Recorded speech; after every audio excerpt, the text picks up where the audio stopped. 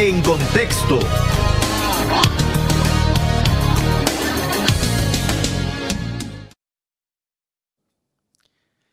Y a nivel de noticias, ¿de qué está hablando el país y el mundo? José Cardosa nos informa. Sofía Lacayo, política y empresaria de origen nicaragüense y ex candidata a comisionada del condado de Miami-Dade en 2022, esta mañana salió libre al pagar la fianza de 14.500 dólares que se le fijó tras ser acusada de 21 cargos relacionados con el origen y uso de fondos de su campaña política. Esta mañana Lacayo salió de la prisión Turner Guilford Knight del condado Miami-Dade, en donde fue trasladada luego de ser arrestada al regresar de unas vacaciones en Italia. El periodista Armando Amaya, quien dirige la plataforma digital La Cutacha Noticiosa, se sumó a la larga lista de periodistas desterrados por el régimen de Daniel Ortega. El reportero confirmó al medio 100% Noticias que tiene que lavar carros para sobrevivir en Guatemala. Luego que se conoció que el régimen impidió el ingreso del periodista Marcos Medina, Amaya tomó valor para denunciar que en enero de este año vivió una situación igual. El embajador de Colombia en Nicaragua, León Freddy Muñoz, criticado por su participación en actividades proselitistas de la dictadura, reapareció la tarde del martes 25 de julio en medios de comunicación de propaganda gubernamental, a la actividad que asistió el representante colombiano y donde se le vio con una sonrisa tímida fue al acto virtual de convenio con el Servicio Nacional de Aprendizaje SENA de Colombia y el Instituto Nacional Técnico y Tecnológico INATEC. Más de 21.500 nicaragüenses han recibido el parol humanitario para migrar a Estados Unidos desde el mes de enero, cuando el gobierno de Estados Unidos puso en marcha el programa que abre una vía de acceso legal a ese país como alternativa a la migración irregular.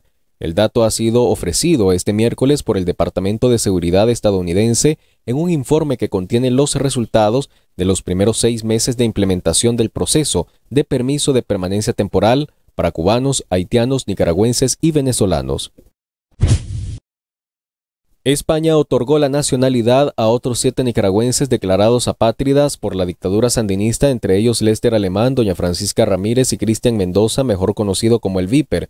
De acuerdo al Boletín Oficial del Estado BOE de España, las nacionalidades fueron otorgadas por carta de naturaleza a los siete nicaragüenses. Y en el ámbito internacional, el testimonio de tres ex militares estadounidenses en el Capitolio dejó este miércoles estupefactos a los congresistas. Dieron detalles de que un programa secreto del gobierno viene estudiando hace décadas las actividades extraterrestres y que no solo ha encontrado restos de naves, sino también de restos biológicos no humanos. El testimonio del mayor retirado David Grush era muy esperado desde que se había hecho sus revelaciones públicas hace casi dos meses. Para Café con Voz, José Cardosa. Gracias, José, por tu resumen.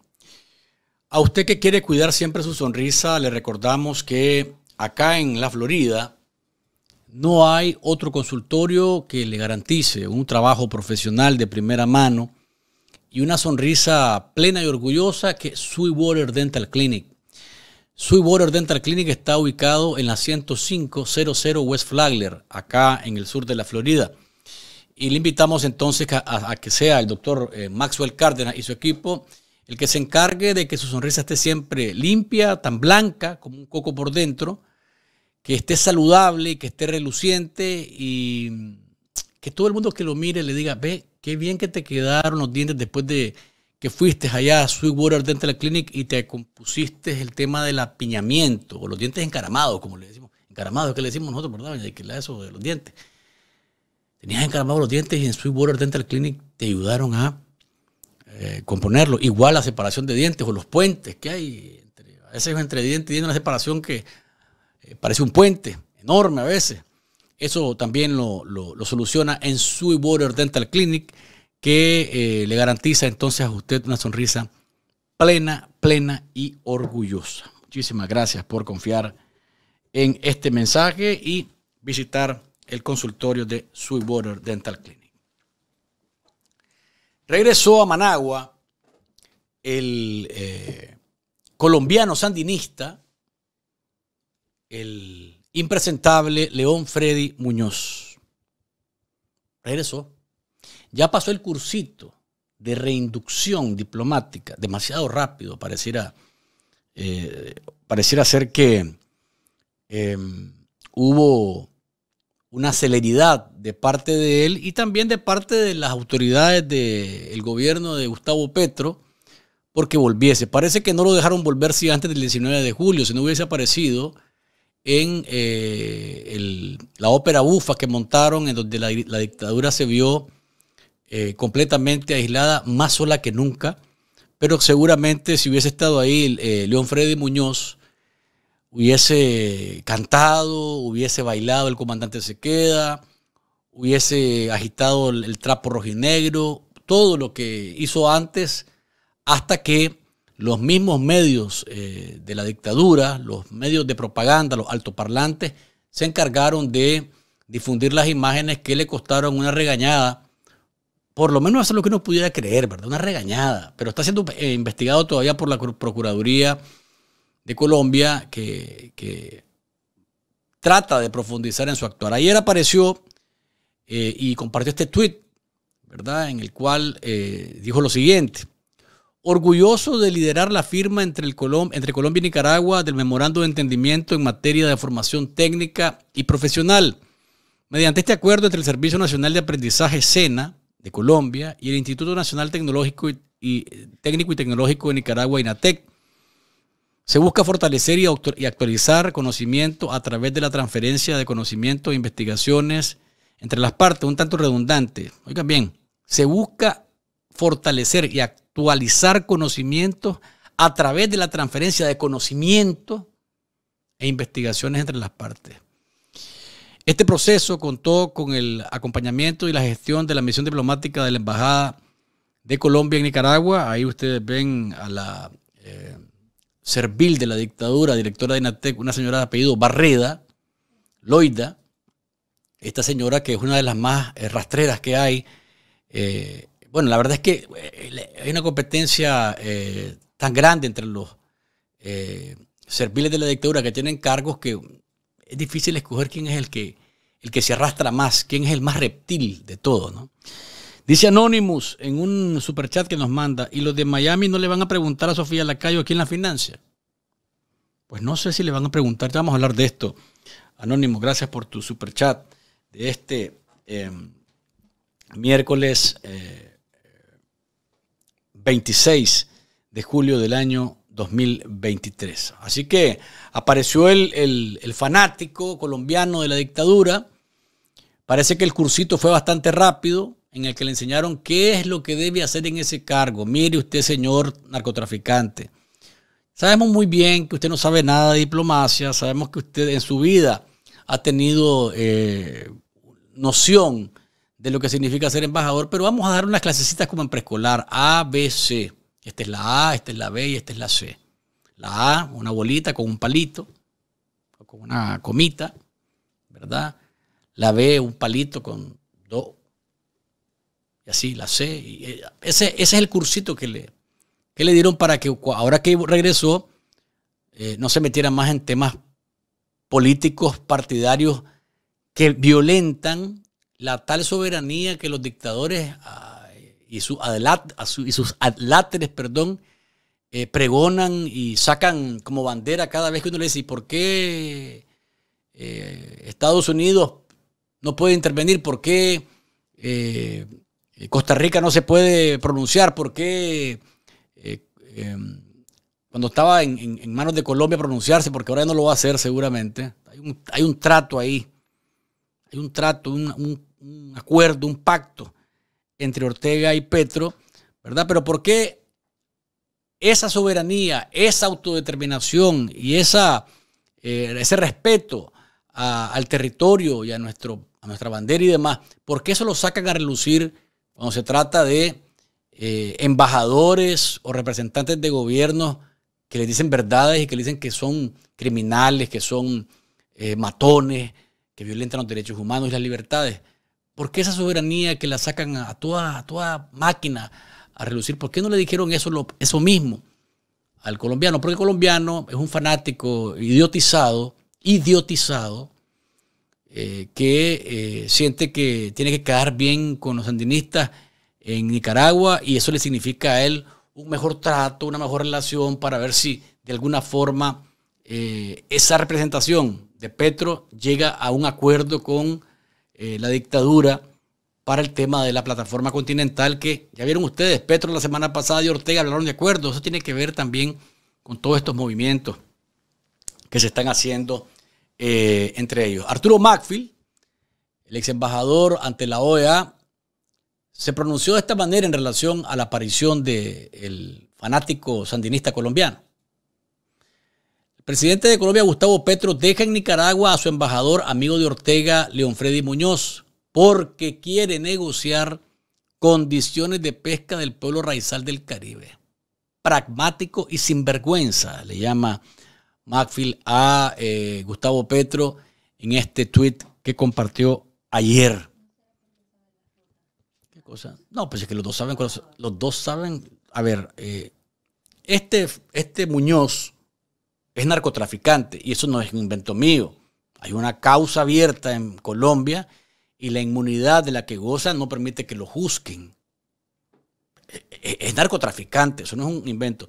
Por tanto, podría estar conociendo de primera mano él rutas, personas, contactos que sirvan para trasegar eh, ese, ese mercado de la droga en esa plataforma que como hablamos en Enfoque el viernes pasado es enorme no están preocupados por la riqueza marítima, ni por la riqueza de gas natural, ni por petróleo en la plataforma continental. No, están preocupados porque ese es un corredor de droga extraordinario. Y si se ponen de acuerdo los, dos, Ortega y Petro, pues entonces esa plataforma sería eh, controlada y ese negocio sería más próspero. ¿Ustedes qué creen? Yo creo que por ahí anda la cosa en relación al acuerdo al que quieren llegar en ese sentido. Pero póngame de nuevo la fotografía, doña Dickel, porque en las fotografías donde aparece este Leo Freddy Muñoz, ahí está la bandera. Ahí está el trapo rojinegro siempre. Ahora, él no le va a decir a la dictadura que la quite, pero ahí está. La debe tocar así, la debe tocar, eh, sí, con la llama de los dedos debe sentir la, la tela del trapo rojinegro y debe suspirar, ¿no?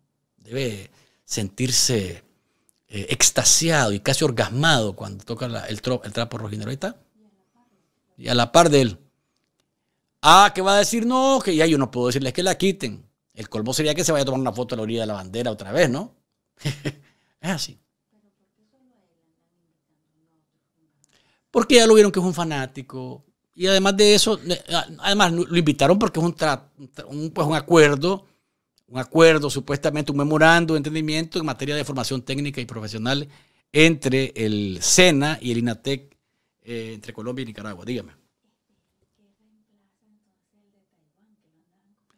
Parece que, dice doña Dickel, que a lo mejor está eh, el, embajador de Petro reemplazando al que se volvió nicaragüense de Taiwán, ¿se acuerdan? Uno que lo andaban de un lado para otro, que lo metían lo metían a todos los actos para sentirse acompañados por alguien. Entonces parece que este de Petro es el que es el papelón que anda haciendo ahora, que aparece por todas, por, todas partes. Eh, a donde lo inviten va a ir. A donde lo inviten va a ir. Solamente le voy a decir, no me pongan, ni me no me pongan ni payoleta, por favor. Y tampoco me pongan gorra y nada. Yo me, muero por ponérmelas, pero no puedo. Saben que el cursito que me acabo de tirar y que me evitó que estuviera el 19 de julio ahí con ustedes, eso, eso pues tengo que respetarlo. Pero invítenme donde quieran, yo voy a decir que todo está lindo, que todo está maravilloso y que este pueblo está convencido de su revolución. ay, ay, ay, qué vergüenza, ¿no? Qué vergüenza. Sí, señor. Y hablando de vergüenza, ayer por la noche, cuando Liana Astorga publicó en sus cuentas de redes sociales la detención de Sofía Lacayo, una nicaragüense nacida en Chontales, lamentablemente, pobres los chontaleños, ¿no? Eh, pues uno decía, largo corrió una mujer que a todas luces no tenía la más mínima capacidad ni estaba midiendo la agua en la que se estaba metiendo desde el inicio. Yo vine acá en el 2018 diciembre del 2018. Y debo decir que siempre la vi con recelo. Una sola vez le invité al programa cuando andaba en campaña y le pregunté en aquel momento algo que no le, no le gustaba que le preguntaran, pero como yo soy necio con mis preguntas, no me podía quedar con ella. Y era sobre la verdadera dirección de su casa, porque ella fue electa lamentablemente para los que votaron por ella y lamentablemente para Nicaragua por el color que nos da, que nos ha dado. Electa comisionada en Sweetwater, que acá en, en, la Florida es conocida como la pequeña Managua, porque es una gran, la pequeña Nicaragua o la pequeña Managua, porque hay una cantidad enorme de nicaragüenses en, en Sweetwater. Eso provocó que por primera vez en un cargo público, un nicaragüense, en este caso una mujer, fuese respaldada porque, bueno, eh, eh, era necesario que se empujara. A mí siempre me provocó desconfianza. Algo me decía que el hecho de que, bueno, o yo concluía la desconfianza, mejor dicho, o mi, mi desconfianza se basaba principalmente en el hecho de que esta mujer no era la misma que ponían en las vallas de carretera ni en las traseras de buses, porque esta que está en pantalla no tiene nada que ver con la persona que en, realidad, en el físico, es Sofía Lacayo. Entonces, a mí desde ese, desde ese, eh, desde este elemento de juicio me decía, espérate, a ver, esta persona que está en pantalla no es la misma que está eh, en las actividades cuando uno la ve en vivo. Y por tanto, todo este retoque que se hacía en las fotografías y en, y en, eh, y en, los, en los, billboards, en las, en las, eh, en las vallas de carretera, me hacía a mí pensar de que era una persona que tenía un gran complejo de verse como era y por tanto quería vender una imagen que no existe. Desde ahí vos estás, de ahí tienes que partir que algo no está bien, algo no está bien. Una sola vez la entrevistamos acá en Café con vos y la cuestionamos, eso eh, no le gustó no le gustó mucho. Es más, la persona que me contactó para que la entrevistara no tuvo la delicadeza de decirle que se acordara de que mi programa se llamaba Café con Vos. Porque en ese momento, esta, esta es la verdadera Sofía. Nada que ver con el Photoshop que ustedes acaban de ver, que ustedes acaban de, observar y que han visto seguramente en más de una ocasión en diferentes eh, eh, lugares.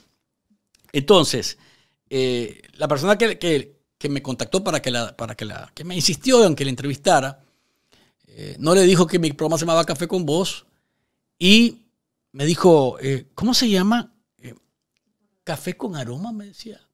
Una cosa realmente ofensiva. Y uno se daba cuenta de que esta persona no estaba bien, no, no estaba bien. Y no merecía la pena, ni valía de ninguna manera ni, grito, ni respaldo, ni nada que se pareciera, lamentablemente. Dice Eddie, Mortega, Luis, saludame a mi esposa Saraí, hasta Key West, o Saray, hasta Key West.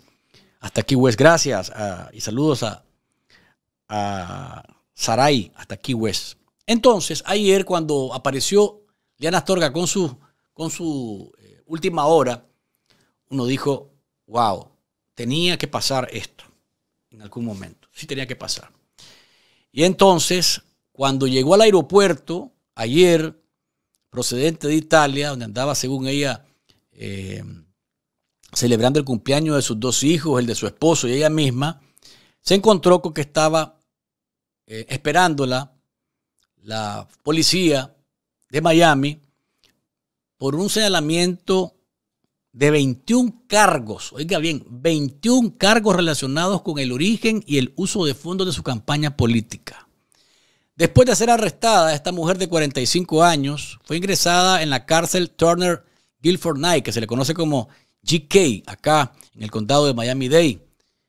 Todos estos cargos, eh, estamos hablando de un monto que podría estar rondándose la investigación hasta ahora, ¿verdad? De acuerdo a lo que hemos conocido, un millón novecientos mil dólares. Un millón novecientos mil dólares. ¿Qué ocurre? A mí me pareció muy extraño también que a pesar de que se trata de un monto significativo, 1.900.000 dólares. La fianza que pagó y por la cual salió hoy de la cárcel suma nada más 14.500 dólares. Eso es nada para alguien que ha manejado una gran cantidad de plata de manera irregular. ¿Quién se encargó de señalar que Sofía Lacayo estaba manejando la plata eh, de una manera eh, no adecuada en un primer momento? Juan Carlos Bermúdez, él que era el candidato contrincante de ella en el Distrito 12 de Miami. Este señor dijo o le pidió a la Fiscalía de acá de Miami que observara el proceso de financiamiento de su contrincante porque era cuestionable la procedencia de ese millón novecientos mil dólares. Solamente hizo ese señalamiento. Ella lo negó en aquel momento, decía que no había nada extraño, que eh, si se trataba de prestarse ella misma, habían otros candidatos eh, y otros políticos en Estados Unidos que hacían lo mismo, pero al parecer nada de esto resultó ser cierto. Durante la campaña, los récords de las finanzas del equipo de, Sofía Lacayo mostraban que gran parte de este dinero provenían de préstamos que ella misma se hizo. Es decir, yo, Luis Galeano, candidato, me presto a mí mismo el dinero y me lo voy a pagar después. Eso es, eso es eh, en, resumen. Además, varias empresas en las cuales Lacayo aparecía como propietaria habían contribuido con la cantidad máxima de mil dólares. Empresas, oiga bien esto. Póngame, doña Dicker, por favor, vuélvame a pantalla, por favor. Quizá esto es lo más grave. Todos los señalamientos que le hacen son graves. Pero este, que dice que varias empresas de las que la Cayo aparecía como propietaria, habían contribuido para su campaña con la cantidad de hasta mil dólares, máximo mil dólares.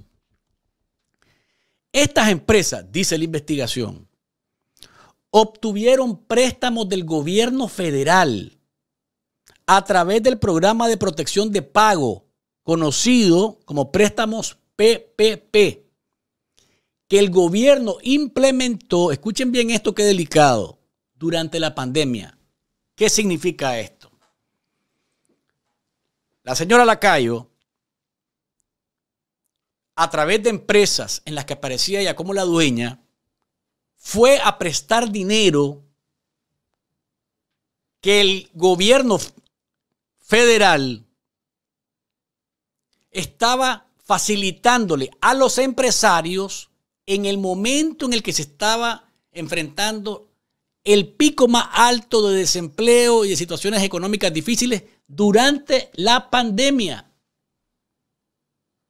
Esto, para mí esto es lo más grave que, está. Porque se habla de lavado de dinero y más adelante vamos a, vamos a verlo en, en detalle. Pero el nivel de descaro de llegar a pedir préstamos al Estado para financiar su campaña a través de empresas y que ese dinero, en lugar de utilizarlo para paliar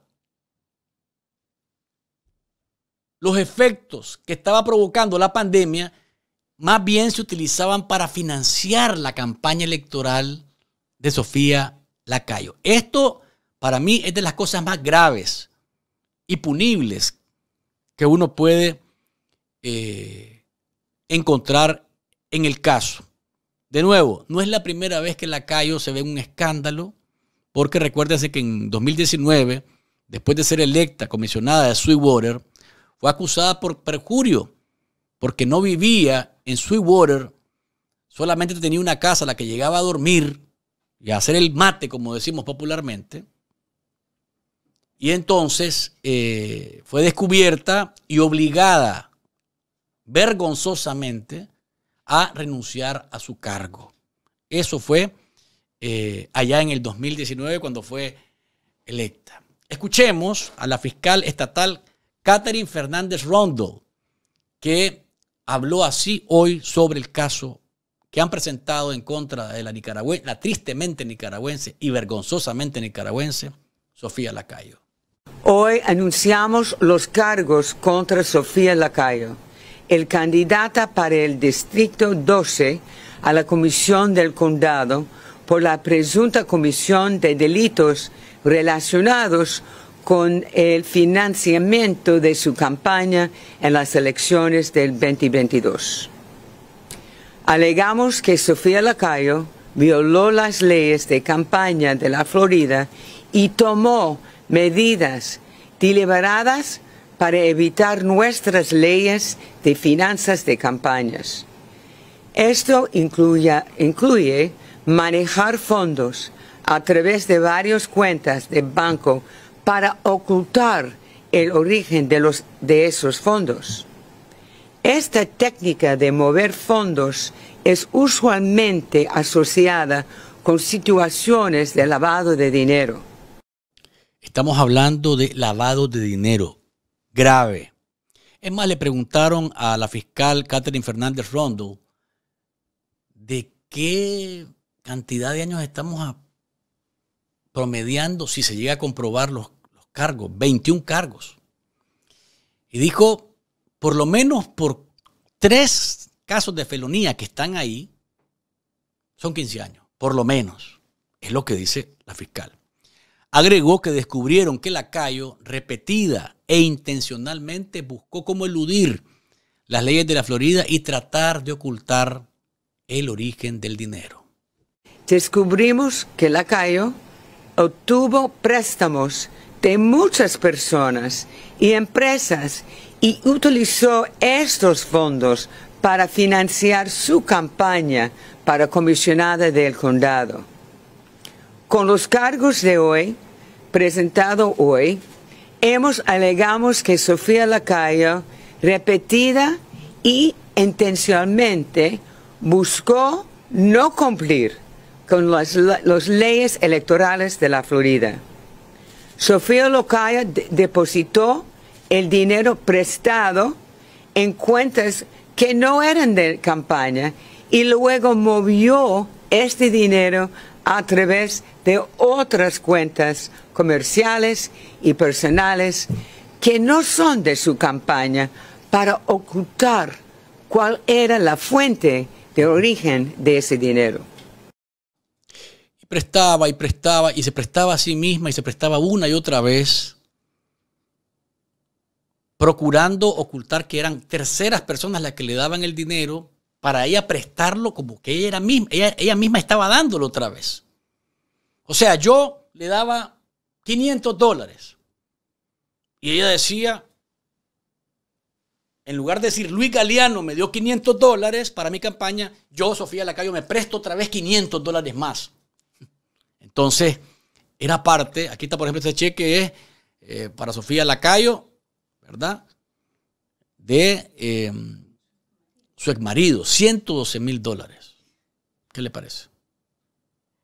Por ejemplo, escuchemos cómo la fiscal Catherine Fernández Rondell dice eh, que Lacayo reportaba dinero como préstamos que ella se hacía a sí misma o que hacía su campaña. En lugar de decir que eran préstamos de otras personas que creían en ella y que aportaban para su misma campaña. El dinero se utilizó para pagar los gastos de campaña. Lacayo entonces reportaba el dinero en los informes oficiales de campaña como préstamos que ella misma le hizo a su campaña, en lugar de préstamos, préstamos de otras personas y campañas. Sin duda alguna, estas acciones son ilegales y no pueden ser tolerados aquí en nuestra comunidad.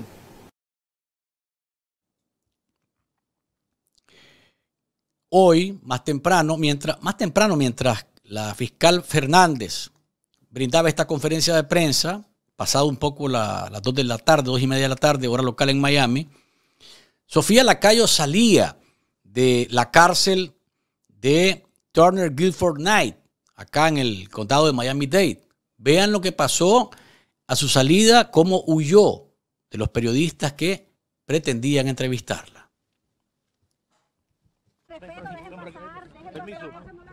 Tiene acusación formal. ¿Cómo responde usted? Felicidades al, felicidades al condado, que estaba muy bueno. ¿Cómo fue? Dígalo otra vez, por favor.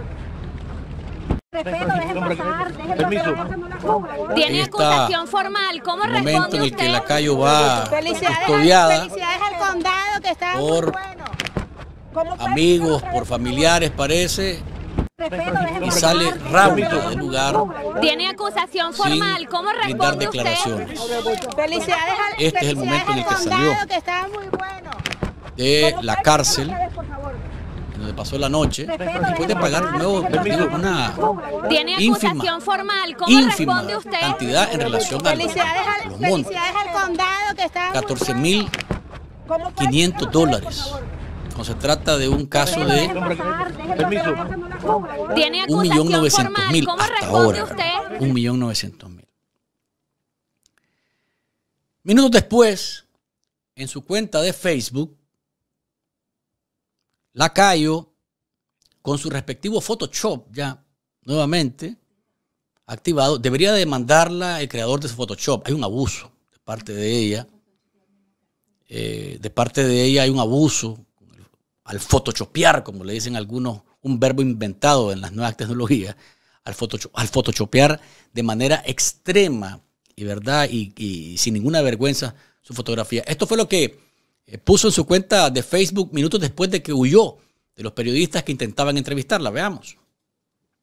Aquí estoy para no perder la costumbre, siempre ayudando a los demás. Conocí y ayudé muchas personas. Me tienen a la orden.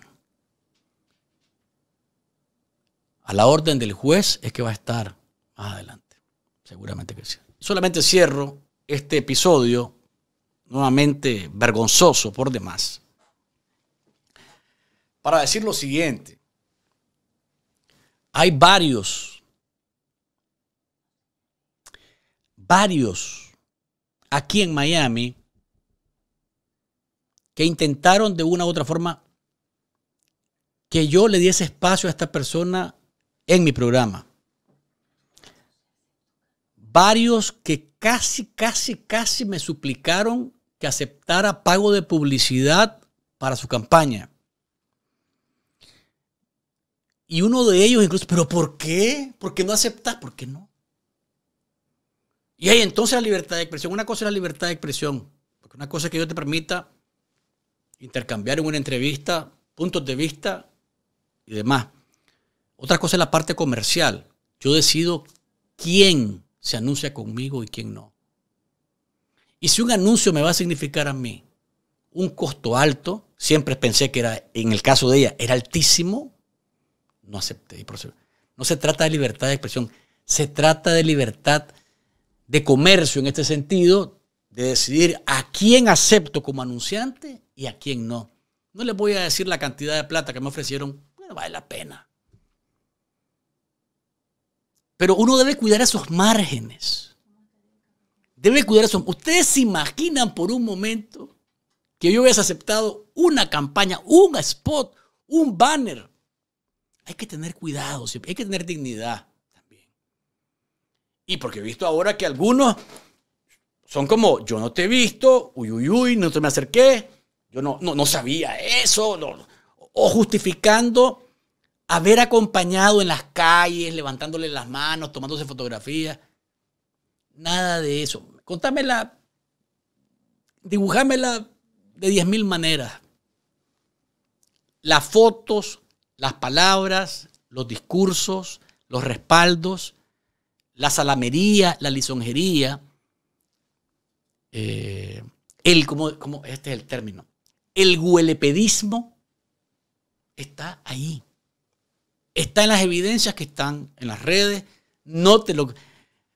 No me digas que te manipularon, que te agarraron el cerebro y te lo lavaron, que no sabías que yo sabía que, que, que la cosa era tan grave. No me vengas a decir que sos inocente, eh, que, que, que, te agarraron como, como, como baboso, porque baboso no sos. El billete llegó.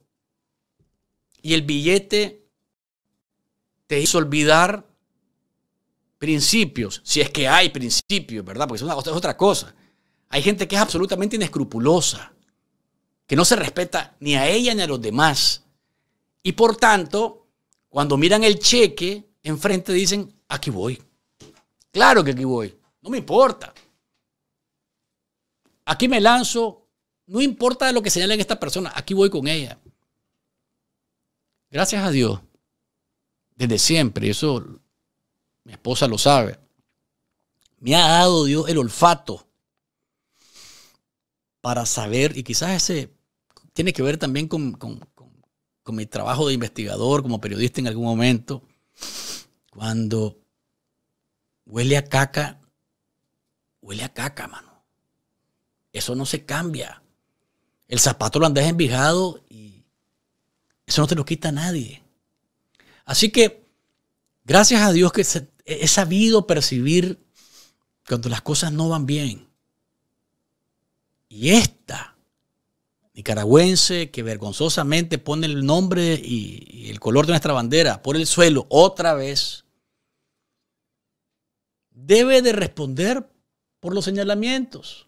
Y no es haciendo mofa ni diciendo aquí estoy de nuevo, como para no perder la costumbre. Eso no le quita lo, lo grave. Ni siendo gracioso, ni tratando de ser sarcástico, ni sardónico. Eso es ser sinvergüenza, muy desvergonzado y cínico. Y ojalá y que la, justicia haga su trabajo acá. Dígame, doña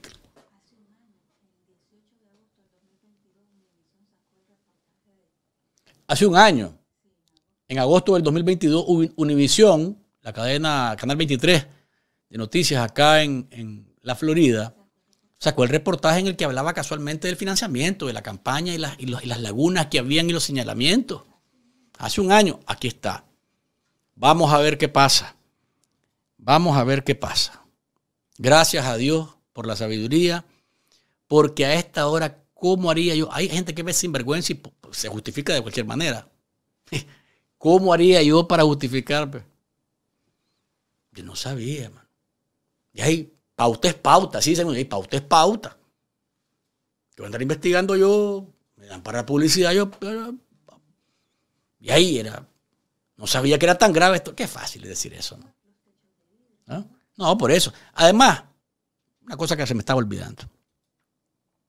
La Cayo le hizo, le hizo el favor hace mucho tiempo a la dictadura de soltarse un tapazo, como le decimos popularmente a los nicaragüenses, diciendo que eran cuántos, 16 millones, 17 millones de dólares, 15, 16, no sé cuánto, 16, 17, 18, 19 millones de dólares. Ella fue la que lo dijo.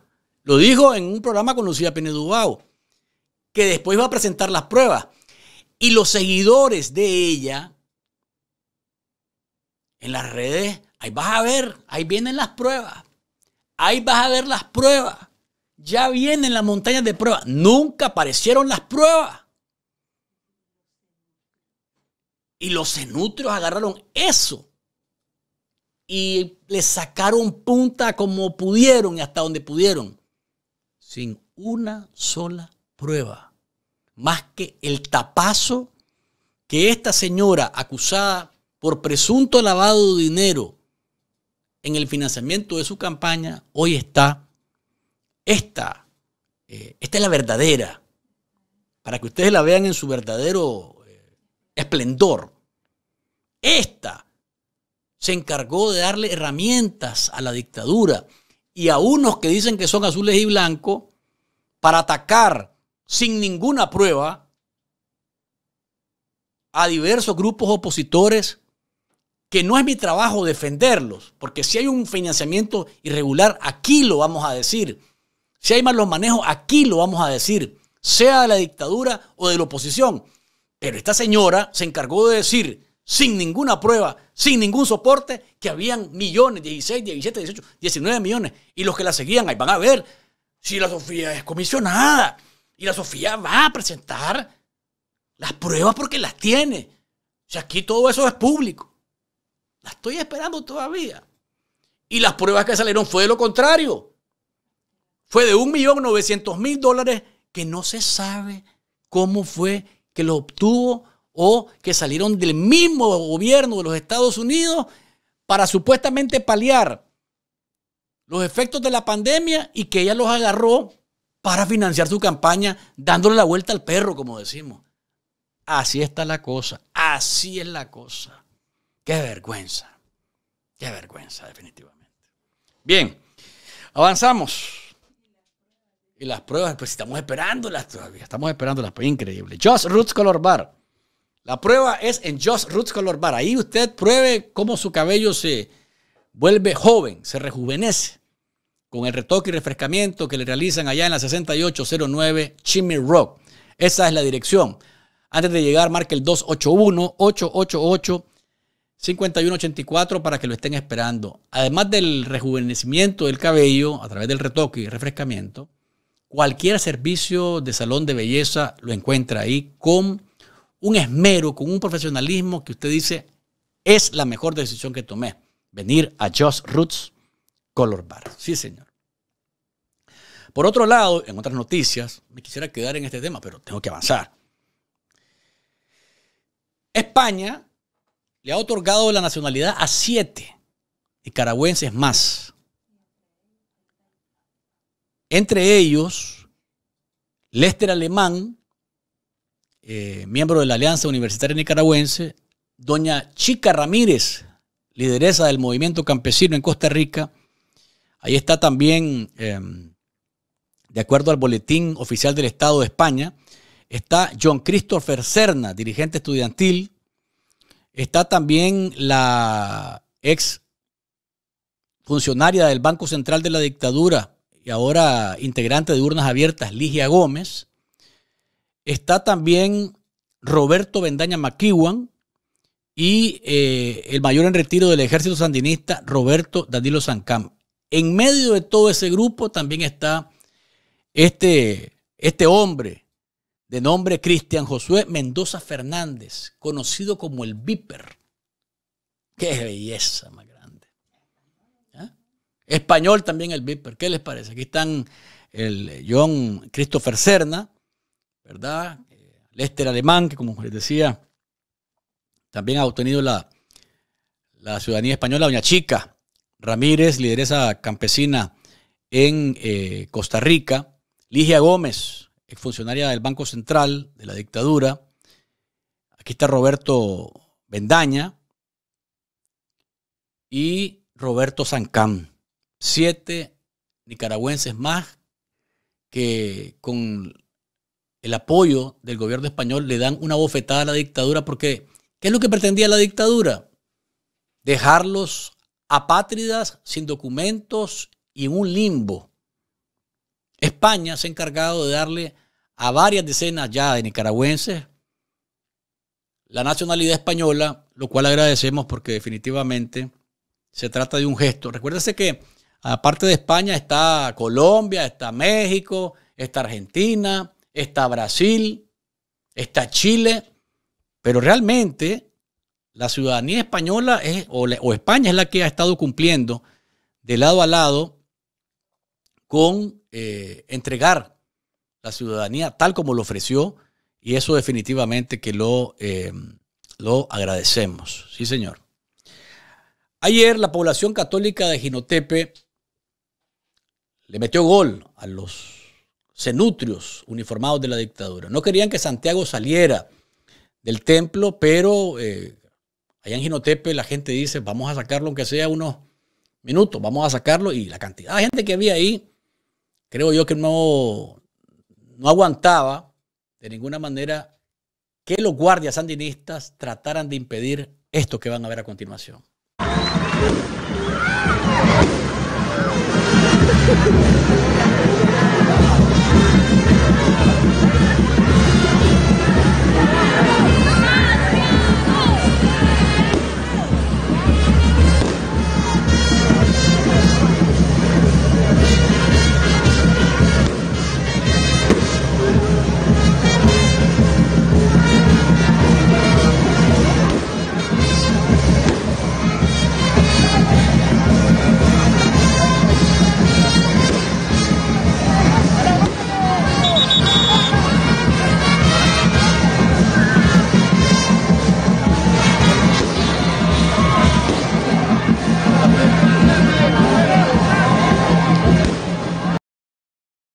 Saludamos a la gente de Ginotepe que dice Santiago es de Ginotepe, Ginotepe es de Santiago.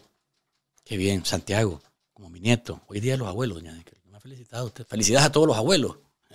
Dicho sea de paso. Doña Dique me felicitó hasta hace poco cuando se, acordó ella. Imagínese usted, se acordó doña Dique hasta ahora que yo tengo un nieto que se llama Santiago. Me acordé de Santiago porque por el santo, ¿no? Eh, pero felicidades a todos los abuelos y a las abuelas en el día de los abuelos. Hoy un abrazo, de verdad que sí. Amaru Ruiz, que ayer lo tuvimos en el programa. ¿Lo tenemos listo, doña que no tenemos? Ok. Amaru Ruiz, que ayer lo tuvimos en el programa con Manuel Prado.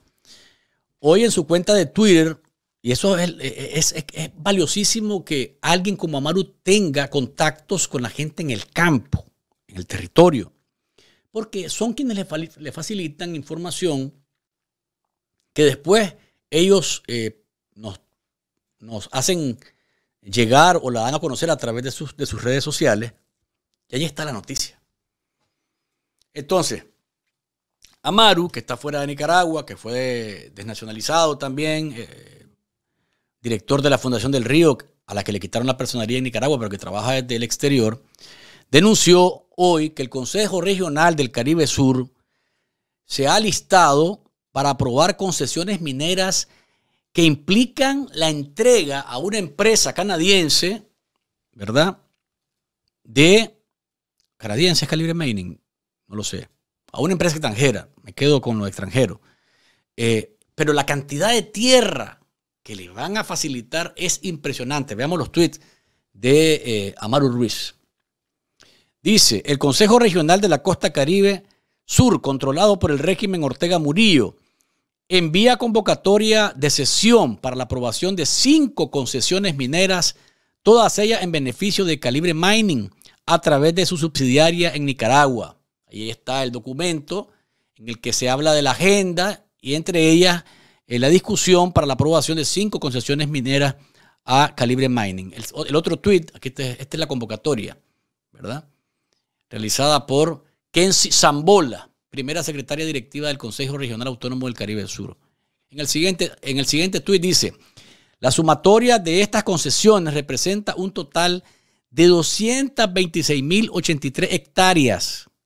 Esto equivale, dice eh, Amaru, prácticamente a lo que mide la Reserva Biológica Indio Maíz.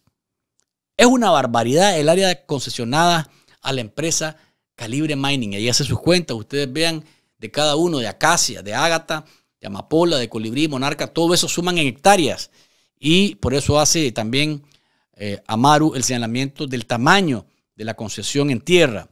Agrega en un tercer tuit, esta situación podría agudizar, esta situación podría agudizar el deterioro del ambiente e inclusive desplazar a más familias de la región sur del país atentos a la sesión del Consejo Regional este viernes. Aquí abajo les adjunto solicitudes de concesiones ahí está el documento.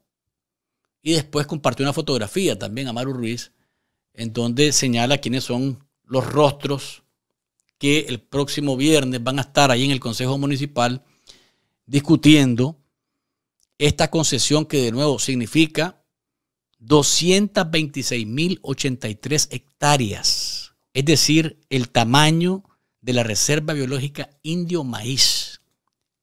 Impresionante. Esa es la, esa es la importancia de la denuncia, la importancia de darnos a conocer lo que está pasando y es gente que está ahí, que trabaja para la dictadura, la que está facilitando información, soltando datos, soltando documentos, que sirven para eh, ir formando un expediente y después mostrarlo. Aquí está, no estoy inventando nada, aquí está, prueba, aquí está, prueba, aquí está, prueba. ¿Mm? Esa es la importancia de tener eh, a gente en el territorio y contactos como los que tiene Amaru Ruiz para hacer este tipo de denuncias. Bien. En, otro, en otra información, bueno, ya vamos a ir con Marcos Medina y vamos a... ¿Tienen la foto de los rostros? Me pareció que la... Aquí está.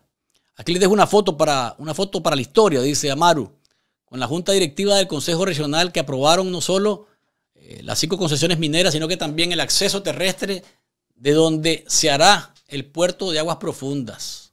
Si alguien reconoce, por favor, me pasa los nombres. Ahí están los que han decidido eh, que el viernes se va a discutir esto y sin duda alguna van a aprobarlo porque la dictadura, eh, los dictadores que les encanta el negocio y el chanchullo, les van a decir que así deben hacerlo. Dígame, doña Dickel. No, no, no, no, no, no. Se confunda, doña Dickel, no. No. El tamaño de las concesiones, las cinco concesiones, estos 226 mil hectáreas, 226 mil 83, equivalen al tamaño de la reserva indio maíz. Es en otro espacio, es en otro territorio, pero juntas suman el tamaño de la reserva indio maíz. Ahí más o menos creo que sí quedamos eh, claros. Así que más o menos allá en la cosa. Bien. Hoy más temprano Marcos Medina, nuestro colega, denunció en la Comisión Permanente de Derechos Humanos de Miami la situación del destierro que ha sufrido luego que vino con su familia acá a los Estados Unidos y cuando intentó volver le dijeron en la línea aérea que era imposible que se montara porque desde Managua habían ordenado que no eh, le dejaran embarcar. Dijo Medina en la conferencia de prensa más temprano que estaba listo para que hicieran algo en contra de él como periodista porque sabe la situación que se vive en Nicaragua en contra del periodismo. Pero también alcanzaron a su familia, a su esposa y a su hija que le han eh, prohibido o le han indicado que no pueden retornar a su patria. Teníamos planes familiares, dijo Marcos Medina, y el llanto cortó su relato. Veamos. Fue, fue algo bastante duro porque en mi caso como periodista yo esperaba que probablemente no me dejaran ingresar, pero ya cuando a uno eh, también eh, esto deriva una consecuencia para la familia y lo estamos viendo eh, palpablemente, yo lo estoy, lo estoy viviendo, o sea, ya no es contra mi persona, mi labor como periodista, sino contra mi familia. Y esto pues la verdad es que me preocupa porque se le están vulnerando los derechos fundamentales a mi esposa, a mi hija. Mi hija debería, mientras yo estoy aquí en esta conferencia, mi hija debería estar en su salón de clase ahorita, pero porque nos impiden regresar, entonces, pues mi hija ahora eh, está viviendo una situación que, no debería. Mi esposa debería estar en el trabajo, eh, teníamos planes familiares allá en Nicaragua,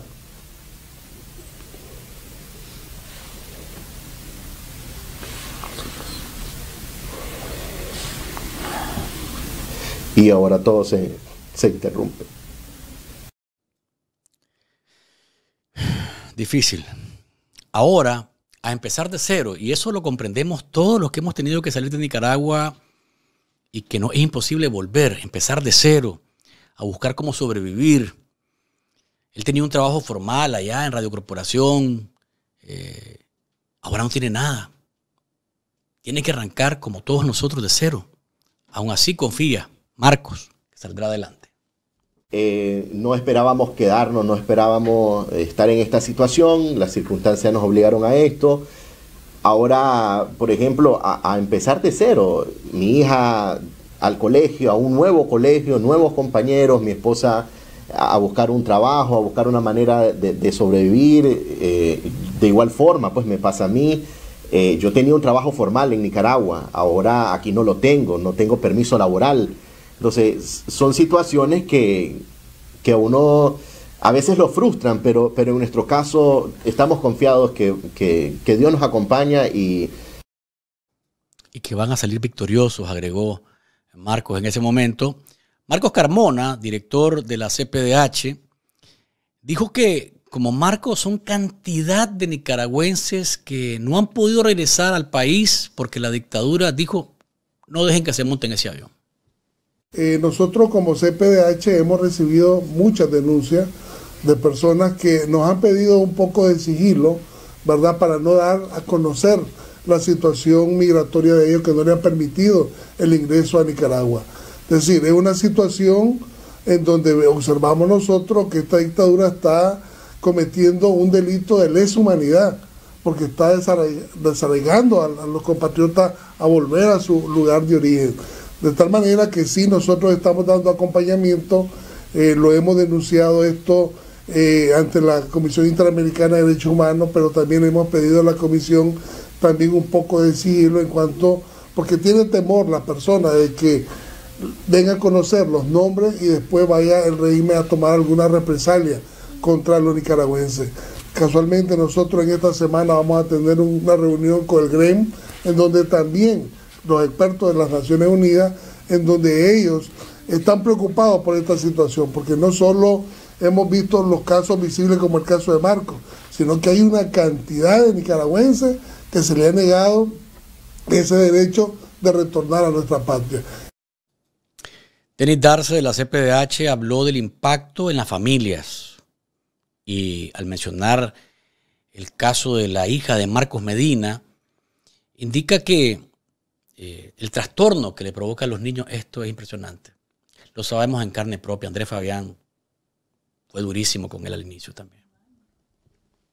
En el caso de, Marcos estamos viendo cómo los planes de familia se vienen abajo, el futuro ya previsto se viene abajo, los derechos de una niña que no tienen nada que ver en ninguna situación de carácter político son afectados de manera significativa. En la etapa de la niñez, uno de los derechos fundamentales que, que aportan al desarrollo integral es la educación. Y en este caso, a la niña, ¿verdad? Que es el reflejo también de muchos miles de niños que están viviendo una situación parecida, que les toca estar en otro país, estar en otra cultura, someterse a otro tipo de situaciones, dentro de ellas la discriminación, ¿verdad? La xenofobia, etcétera, simplemente porque le tocó tener un padre periodista que trabaja dentro de una situación dictatorial como la de Nicaragua. Terrible. Vamos a hacer una pausa comercial. Marcos Medina está con nosotros, es nuestro invitado de hoy. Luego del corte lo vamos a tener para platicar un poco más sobre esta situación que está atravesando con su familia acá. Eh, antes de ir a la pausa, recordarles que usted acaba de llegar acá a Estados Unidos y necesita un auto. Mario Bruno, recuerde, Mario Bruno es quien puede ayudarle a encontrar ese auto rapidísimo. Es migrante y usted lo necesita porque las distancias aquí son bárbaras.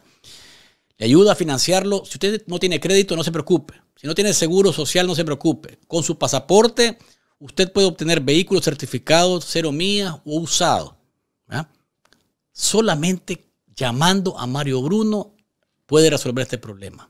Solo con su pasaporte. Llame al teléfono 786-352-9209 y su carro lo va a tener en asunto de horas. Agárrese de la mano de Mario Bruno y resuelva su problema de transporte.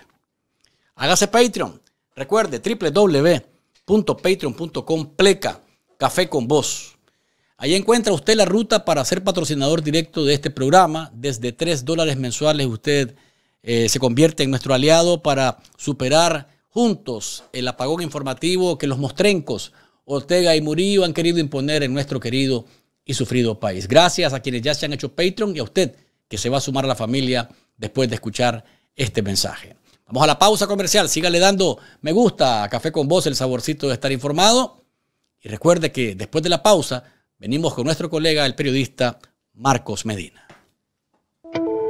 Nicaragüense, el destierro o exilio no es renunciar a los derechos humanos y su reclamo no tiene fronteras. Es un derecho universal. Tenés derecho a la vida, a la educación, a la libertad de religión, a la libertad de conciencia, libertad de pensamiento, libertad de opinión y expresión. Nicaragüense, cada país tiene sus normas y leyes y mientras las respetes, sin importar tu condición migratoria y por el simple hecho de ser persona, gozas de derechos humanos que nadie debe ignorar. Hola amigo, ¿quieres estar informado? Suscríbete al canal de Café con Voz Nicaragua y toca la campanita, denle like a todos sus programas y recuerden que no hay mañana sin café. Las mañanas son mejores cuando estoy pensando en vos.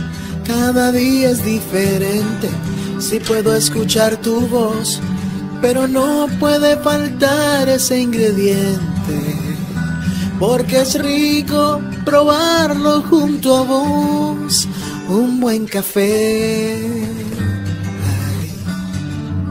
Es café con vos es café con vos.